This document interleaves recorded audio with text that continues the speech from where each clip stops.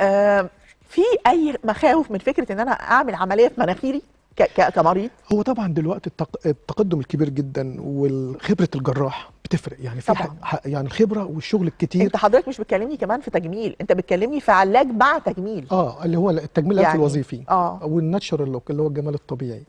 فدلوقتي يعني الدراسه إحنا لما تجي لي الحالة لازم أدرس طبيعة الجلد وبرده ال expectation بتاع المريض يعني مثلا في جلد تخين جلد رقيق. thin رقيق جلد أصعب challenge للجراح هو الجلد التخين قوي والجلد ال very thin الجلد آه. التخين ما تبانش فيه التفاصيل اللي إحنا بنعملها فالمريض وبيبقى المريض عنده high expectation توقع رهيب من العملية فلازم أكون honest معاه وصريح أقول له أنت جلدك تخين الاستجابة هت- هتاخد وقت معايا. أيوه. لأن حتى التورمات اللي بعد الجراحه في الجلد التخين بتاخد شوية وقت اللي هي ال edema والتورم الخفيف ده.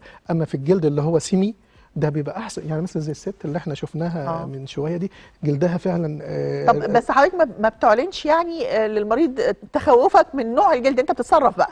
يعني أنا بتصرف بس برضو أنا يعني هو دلوقتي ال- الناس كلها بتخش على الميديا والعلماء والجراحين في المستقبل بدأوا يكلموا الناس لأن الناس كان يقول لك أنا عايز أدخل أعمل عملية اكنه بيعمل ميك اب عايز أيوة. يدخل عملية يطلع يلاقي نفسه حلو. ما ينفعش. ده جراحة وإحنا بن- بنلعب في الأنسجة فلازم ولها أصول ولها حاجات.